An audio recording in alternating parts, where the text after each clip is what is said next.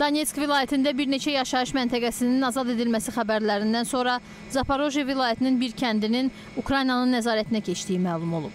Zaporojye ərazi müdafiə briqadası Novodarovka yaşayış məntəqəsini iyunun 4-də azad etdiklərini açıqlayıb. Bəyanatda deyilir ki, Rusiya ordusunun kəndi geri almaq cəhdləri uğursuz olub.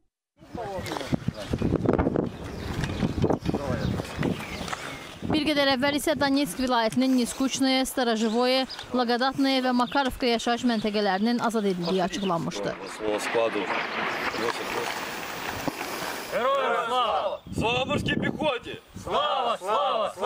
Bununla belə Ukrayna Silahlı Qüvvələri Baş Qərərgahının günlük hesabatında Blaqadatnaya və Makarovkanın azad edilməsi barədə açıqlama yer almayıb.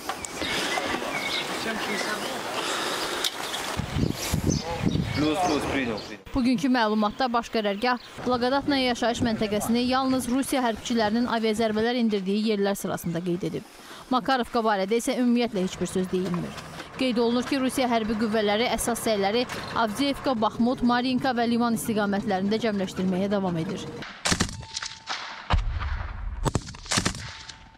Yeri gəlmişkən Ukrayna ordusunun şərq cəbhəsinin rəsmi nümayəndəsi Sergey Çerivatı Baxmut istiqamətində cinahlarda 700 metrə də irəlilədiklərini açıqlayıb.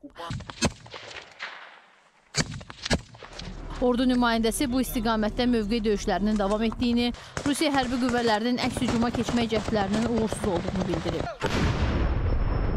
Biz öz növbəmizdə imkan olduğu yerlərdə əks hücumu davam etdirmişik və cinahlarda 250 metrdən 700 metrə də irəlləmişik, deyə Çiribati bildirib. Bu astrel!